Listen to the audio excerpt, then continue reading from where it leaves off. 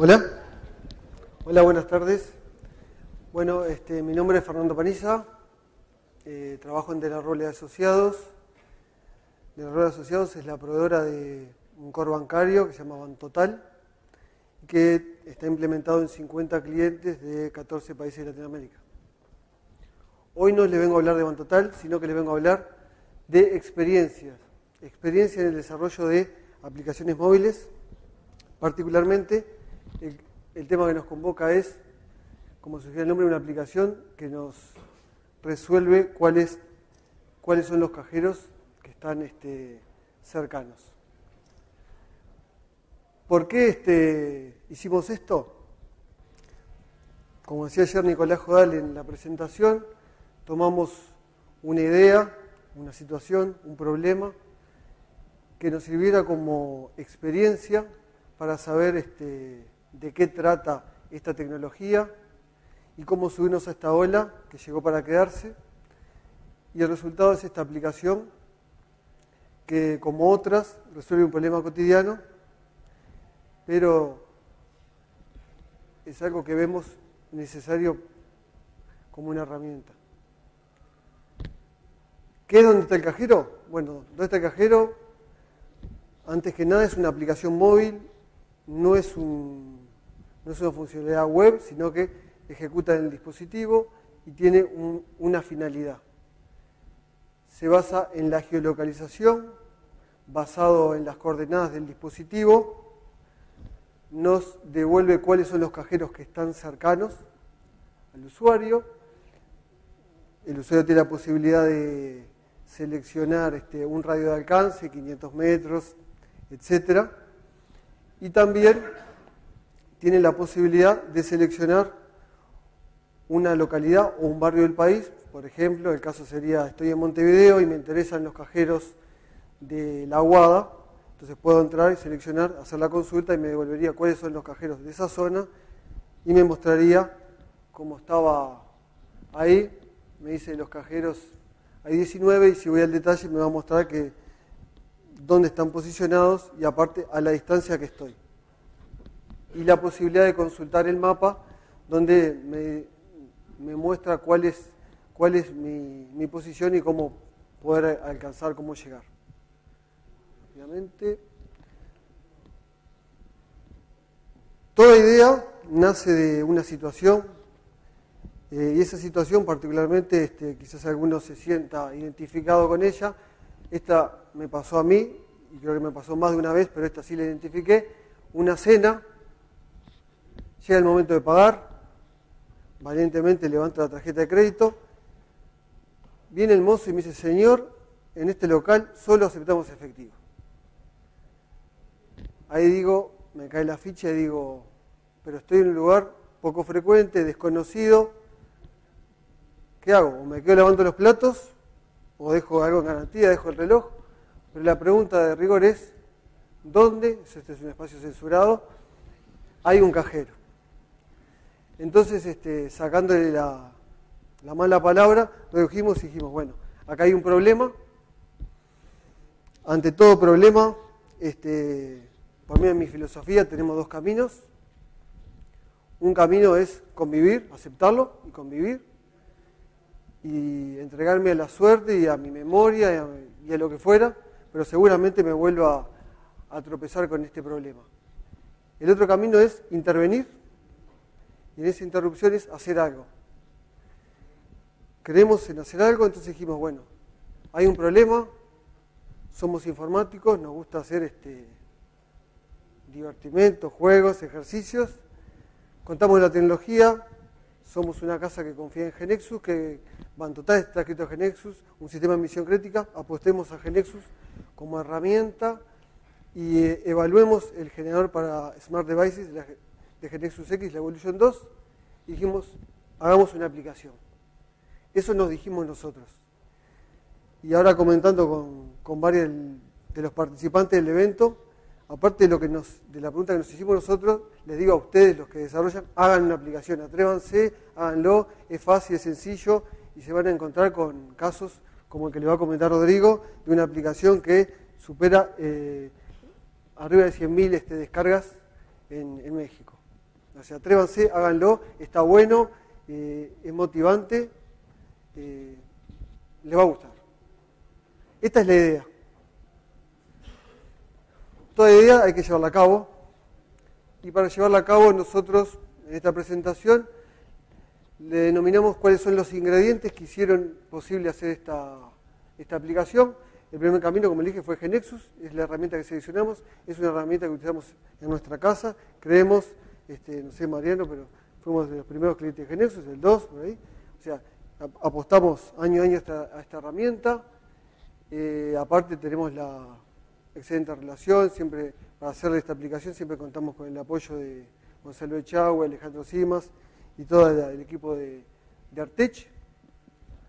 El otro es tener un equipo alineado, particularmente este Federico Armando fue quien se encargó del desarrollo y luego se sumó nuestro chico Mac en la empresa, que es este Guillermo Sánchez, que es un fanático de esta, de esta marca y le puso todo el cariño que necesitaba.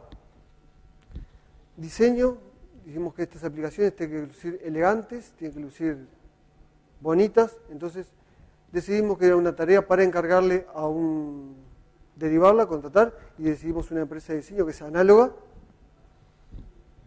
Vino el tema del hosting, nos decidimos que una aplicación que tiene que responder 7 por 24 este, necesitaba tener un servicio de hosting en la nube y en base a evaluación y, y asesoramiento nos fuimos por el cloud de Amazon.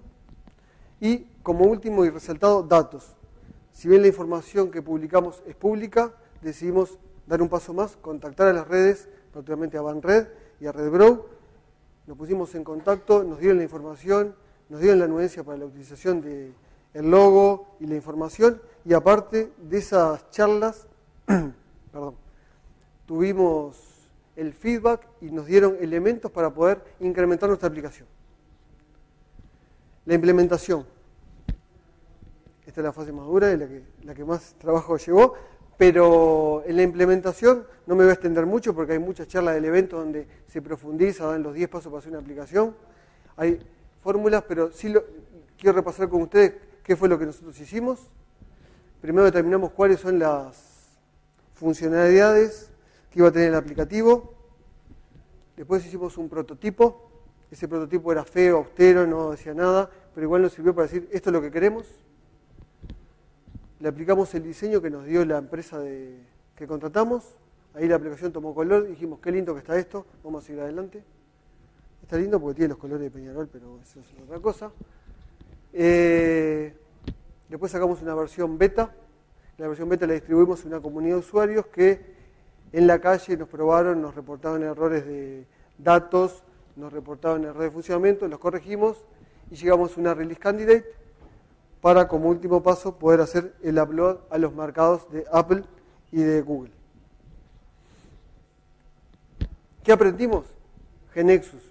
Ahora evolucionamos a la versión, trabajamos en la versión de la Evolution 2, nos sentimos que tenemos experiencia ahora para poder, este, experiencia, horas de vuelo, para poder hacer otras aplicaciones, particularmente más especializadas en nuestro foco que es eh, los sistemas bancarios que como todo proyecto hay imprevistos y estos imprevistos ahora nos sirven para poder estimar, para mejorar y para incluir dentro de nuestros próximos planes.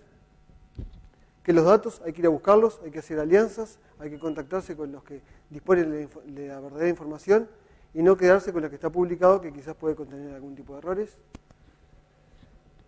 Los mercados, que los mercados, si bien parecen muy parecidos o pueden parecer parecidos para los usuarios, son muy diferentes, cada uno tiene sus tiempos, cada uno tiene sus protocolos, hay que seguirlos, los tiempos de aprobación. Gonzalo Chagua ayer de una charla donde se eh, explicó cada uno de los, de los pasos para subir a los mercados, ténganlo en cuenta porque los tiempos pueden jugarles en contra. Y la evolución, la evolución de que esto son herramientas que se hacen y evolucionan si nos quedamos, seguramente venga otro y lo haga mejor que nosotros. Por eso nosotros, si bien estamos trabajando, ya tenemos algunas funcionalidades que seguramente es así, este, hagan un cambio de comportamiento de la gente. Estamos pensando en incluir, este, si el cajero tiene saldo en forma online, y si está operativo en tiempo online para que los usuarios puedan permitir este, desde sus casas no tener que hacer un tour, como algún, algún amigo me comentó, hacer un tour por todos los cajeros de donde hay dinero. Eh, para terminar y como resumen, la aplicación ya está disponible en Google Play, la pueden descargar. Esta semana se termina el review y va a estar disponible en Apple Store, espero que antes del viernes esté disponible. Somos Ban Total, pueden conocernos a través de nuestro site. Mi nombre es Fernando Paniza y quedo disponible para cualquier consulta que ustedes me quieran hacer. Gracias.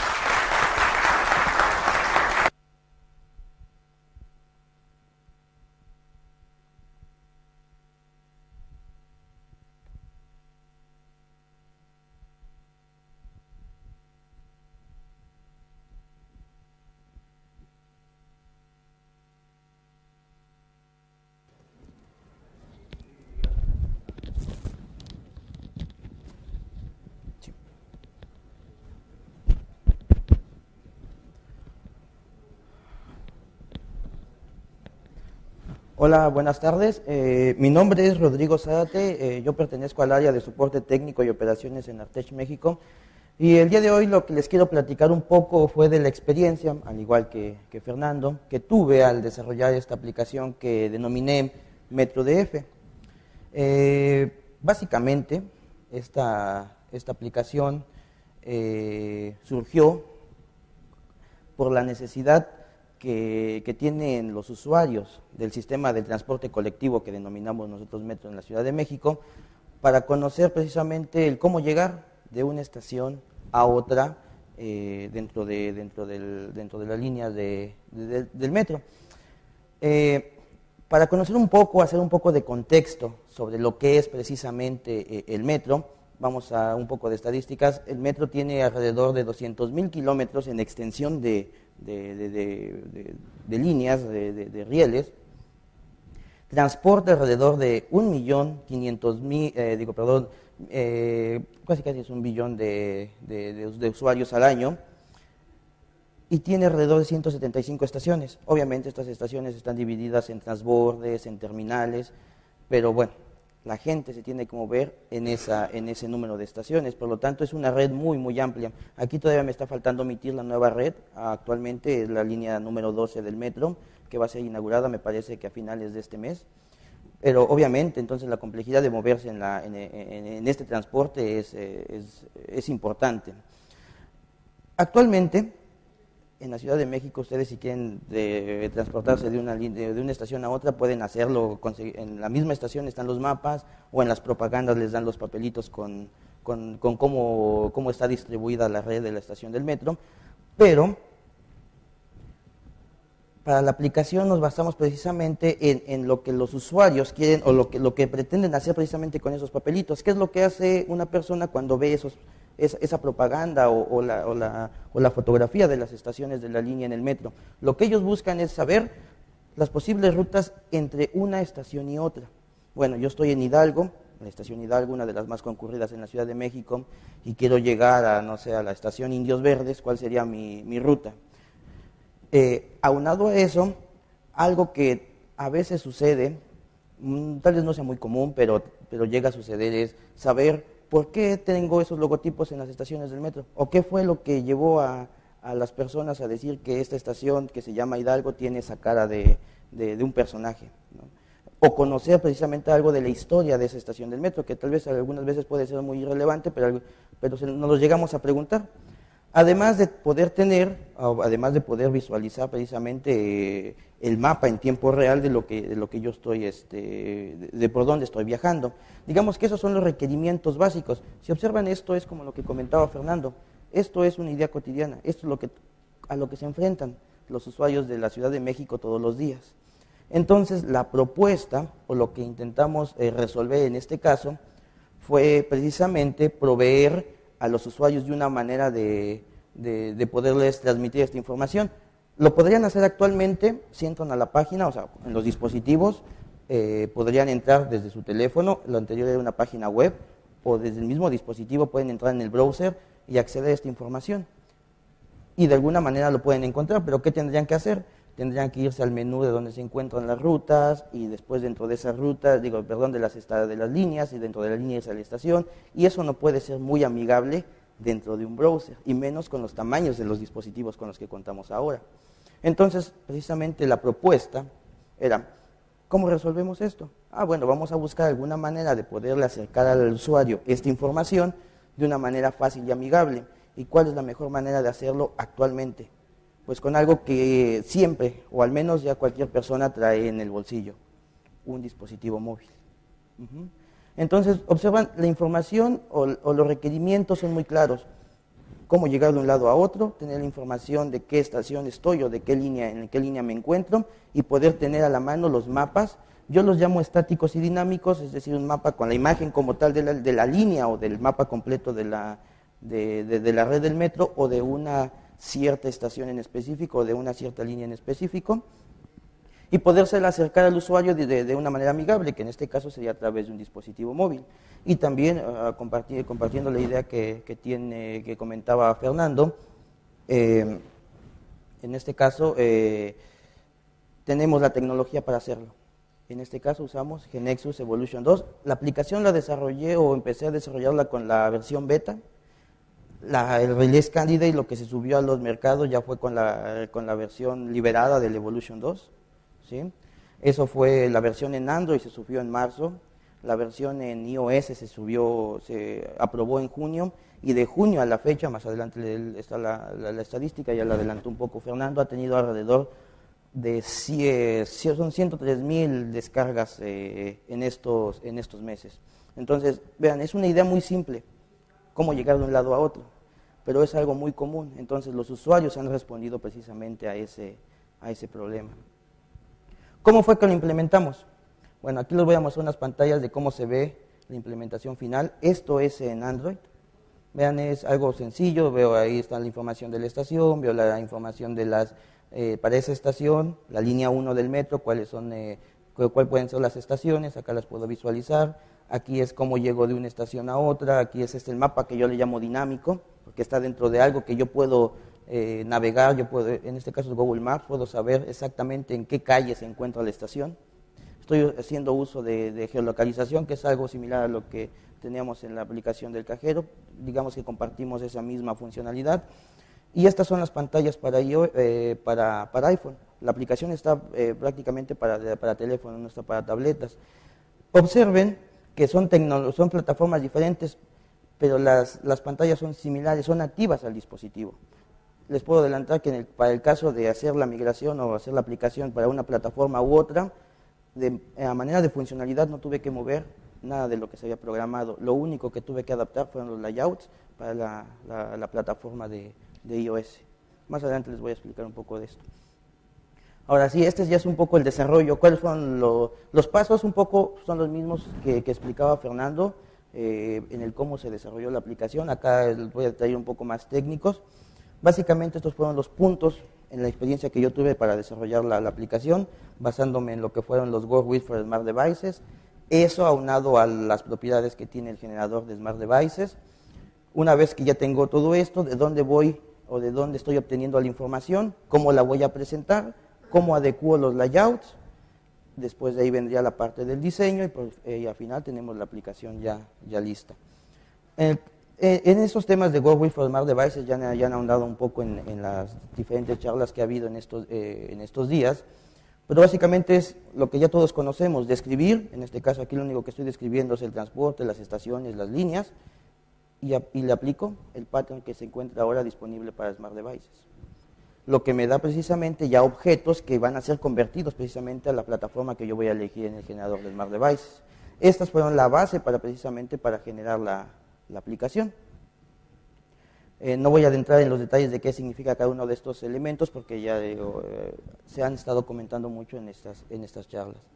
Pero sí les puedo decir que esto fue, eh, fueron las bases que, yo estoy, que, que seguí precisamente para desarrollar la aplicación. Aunado precisamente a lo que son eh, los eh, for Smart Devices, tenemos el generador para Smart Devices. Aquí lo, hago un poco más grande. En este caso, la aplicación quedó precisamente para iOS y Android. Eh, algo que me fue muy útil durante el desarrollo de esto, en el caso de la prototipación, fue tener el Knowledge Base Navigator para el caso de iOS. ¿Por qué? Porque no tenía que tener precisamente una Mac para estar prototipando, para ver cómo iban quedando los layouts. En el tema de la funcionalidad no tenía problema, porque ahí eh, ya la había probado directamente en Android, que fue donde lo empecé a desarrollar. Pero para el caso del, del, diseño en, el, en iOS, esto de, de tener Knowledge Base Navigator es, es fantástico, porque si no, tener una Mac o estar emulando una Mac con todos los recursos que necesitaría eso, complica mucho. Entonces, eh, les puedo decir que para el caso de, prototipar, de las aproximaciones sucesivas, que es en lo que se basa GeneXus, esto, esto resuelve muy, muy bien las necesidades que tenía para el desarrollo. El origen de la información. ¿De dónde estoy obteniendo los datos que presento? Pueden ser de la base de datos, como muchos lo hemos, hecho, porque aquí tengo la información de las líneas, de las estaciones, de, qué, de, de, las líneas de las estaciones, del mismo metro del transporte, pero también tengo que hacer cálculos, cálculos en procedimientos que tengo que, que tengo que, que, mostrar en pantalla para el cálculo de las rutas, porque esas no las tengo almacenadas en la base de datos. Entonces esa información la obtengo a través de SDTs. Son procedimientos que, que, que ejecutan los cálculos y me regresan la información en SDT. Entonces ustedes pueden mostrar precisamente en, eh, la información, ya sea directamente de la base de datos o a través de, cálculos que hagan en procedimientos y los muestran a través de CDTs. Pero ya una vez que tienen la información, la pregunta que nos hacemos cómo la vamos a presentar. Al final de cuentas, lo que están viendo ustedes aquí no es otra cosa que un grid, algo, una lista de, valores, una lista de, de elementos que quiero mostrar. Pero para el usuario, lo que en este caso precisábamos o necesitábamos era poderlo mostrar eh, interactivamente. Y, que, y bueno, tenemos ahora la, la funcionalidad o tenemos la opción de poder indicarle a estos elementos de qué manera quiero visualizar la información. En este caso la quería en forma de mapa. ¿Por qué? Porque estamos hablando de estaciones y de, de líneas y estaciones. Y esto que ven aquí en pantalla no es otra cosa que grids. Es información que puede venir de la base de datos o de un SDT pero la estoy mostrando en forma de, en forma de, mapa. Y observan la complejidad. Cada puntito que se ve en, las dos plataformas es una estación del metro.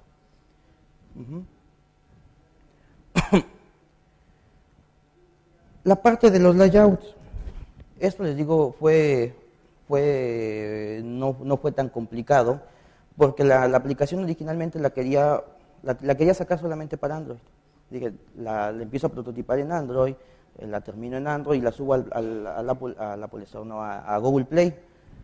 Pero viendo la facilidad que se tenía para pasar esa misma aplicación a iOS sin tener que, tener, sin tener que programar nada adicional para que fuera eh, una aplicación para Apple, decidí entonces empezar a trabajar en la versión de, de, iOS solamente modificando los layouts.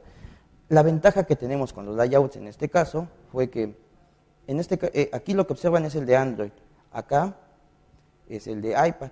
Y la diferencia entre uno y otro solamente es que aquí dice iPhone y el de atrás tenía seteado lo que decía Android. Y además, para la parte de iPhone, por la cantidad de información que mostraba en algunas pantallas, no era lo mismo verlo vertical que horizontal.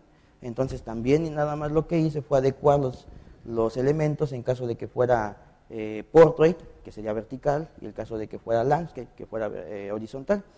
En el anterior voy a hacer un poco, por ejemplo, aquí pueden ver una tabla que tiene eh, una tabla arriba y dos elementos abajo, y aquí solamente estoy mostrando un solo elemento. Podemos estar jugando con esto, entonces digo, la única, si lo quieren ver de esa manera, la única dificultad que se tuvo para la aplicación en iOS fue la de adecuar los layouts. En temas de funcionalidad no tuve que hacer ninguna modificación. Después de hacer todo esto, la aplicación aún se seguía viendo así y si yo presento esto, subo esto al, store, puede ser funcional, pero no es agradable a la vista del usuario. Entonces aquí ya hubo charlas en la mañana en la que hablaban un poco del diseño. Yo lo que hice fue tomar estas pantallas, pasárselos al diseñador gráfico y él lo que me regresó fueron los layouts. En base a estos layouts, él, me, mandó, eh, me, me envió los layouts y quedamos que todo esto estaba ok y me envió los recortes de las imágenes, de, los tipos de fuentes y todo esto lo agregué mediante los temas. Ya hubo charlas de mañana que les explicaban cómo hacer precisamente el uso de estos, de estos temas. Y cambia mucho la aplicación. Vean que la aplicación en este caso ya levantó mucho. ¿Sí? El resultado de todo ese trabajo, observen nada más, eh, empezar con la descripción de, la idea, que en este caso era lo de las estaciones, las líneas, aplicarle el pattern, ver en qué plataforma se va a desarrollar, la manera fácil de prototipar, que, para el caso de iOS tenemos en Oliver Navigator, igual lo tenemos para, el caso de Android, adecuar los layouts dependiendo de la, de la plataforma y después aplicar el diseño. El resultado ahora es, la aplicación se encuentra en Google Play, les digo desde marzo del año, eh, de este año, en el Apple Store desde junio de este, de este año. Y lo que les adelantaba, al momento tiene 100.000 descargas en el Apple Store dentro de la sección viajes eh, para México. Oscila eh, entre el primero y el quinto lugar precisamente en la sección de viajes eh, ahora que revisé, hoy de, hoy de tarde que revisé el, ranking que tenía la aplicación, estaba en el cuarto lugar, solo por debajo de tres aplicaciones que son de aerolíneas, American Airlines, Lufthansa, ¿Perdón? United, que tuvieron actualizaciones en estos días y la cantidad de descargas que tuvieron fue, fue impresionante, pero son aerolíneas. Entonces eh, va fluctuando, bueno, eso, eh, el pico de, descargas fluctúa mucho dependiendo de, si hay actualizaciones o, y además en aerolíneas es mucho, mucho mayor. Pero observen, en este caso fue una idea de, la vida cotidiana, cómo llegado de una estación a otra. En el caso de, Fernando, la idea era, bueno, ¿dónde está un cajero? Necesito sacar dinero. ¿sí? Y, y, comparto ampliamente lo, que comentaba, lo que comentaba Fernando podemos hacer algo. Yo puedo seguir con mi papelito de todos los días que ya traigo todo arrugado en la bolsa del pantalón para ver las estaciones del metro o poder hacer algo. En este caso, si tenemos la tecnología, tenemos la idea, podemos desarrollar algo para poder solucionar eso. Entonces, lo que les quería platicar un poco es precisamente el cómo a partir de una idea salió la aplicación y decir que básicamente es imaginar, desarrollar y al final compartir. Muchas gracias.